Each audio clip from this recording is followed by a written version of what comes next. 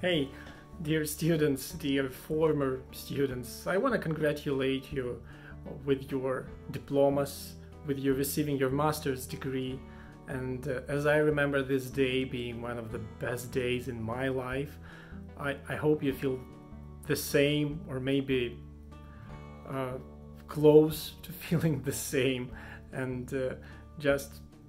you should know that this is a great accomplishment and you did a great work and I loved teaching you and all our faculty did enjoy working with you and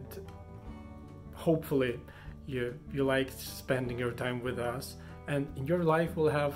a lot of other successes a lot of other fulfillments but I hope that some of you will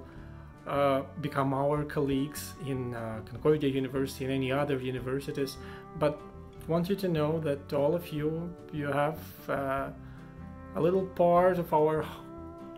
a little personal parts places in our hearts and uh, i can only hope that we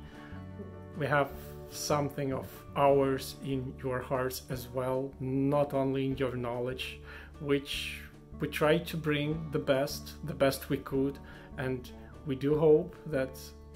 everything you studied uh, will make sense in your future professional lives and make your life